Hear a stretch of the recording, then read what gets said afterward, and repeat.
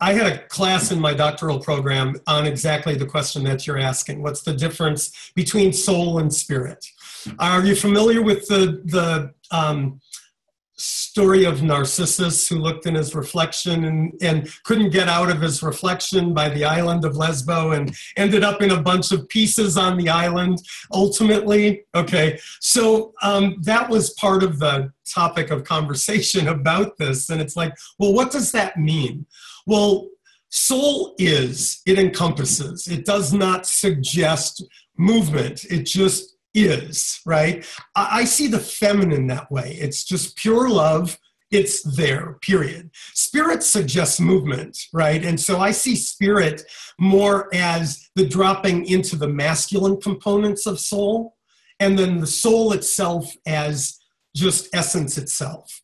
So I have a book uh, that was written in the late 1800s. It's called On Sex and Character by a guy named Otto Weininger, and it, it was it was uh, a, a philosophical book, but it was written with some underpinnings of origins of how the body functions. One of the examples would be that in gestation, the hormonal flushes that we have push one gender forward more than the other one, but we're all born with both right and that's not a constant that that process continually changes you know now that was written in the late 1800s and we're just now currently getting more elevated awareness of transgender or the differing terms or people moving through differing genders and what does that mean for us? And so it's taken a hundred over a hundred years for just that process to go. But also in this book they wrote about genius. So in, they would talk about women automatically have genius and men have to strive to achieve it so it's it's an it to me that reminded me of the conversation of soul versus spirit. We're all both always.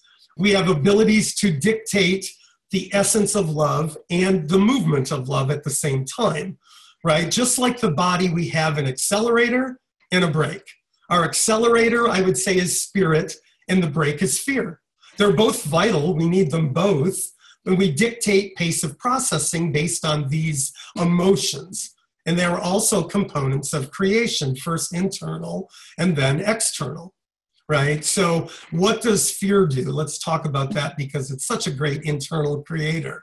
You know, when we what happens is it's built into our hardwiring system our fight flight freeze process right it's the it's the flight part so what happens is this brain, we scan, if we see something that might be what would create a fear process for us, the body will release what's called nitric oxide, which is a naturally made opiate.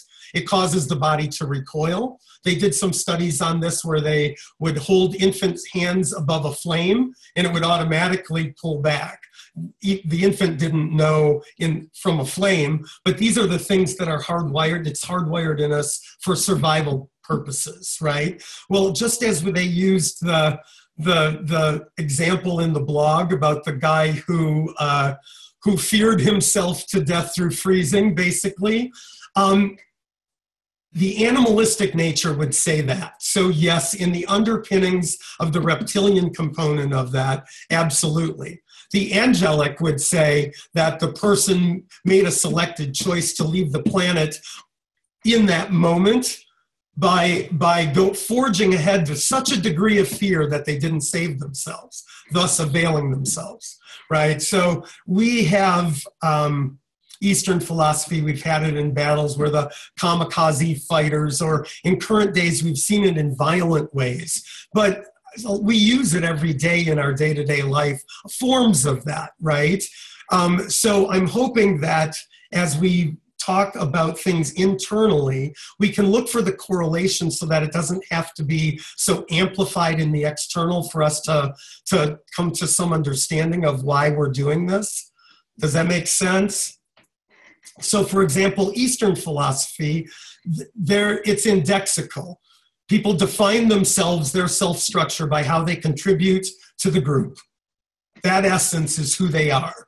Here, it's me first, then you, right? And as it's always both, what I believe to be true is our alignment goes to the place where we have self recognition whose ultimate purpose is to contribute to the group.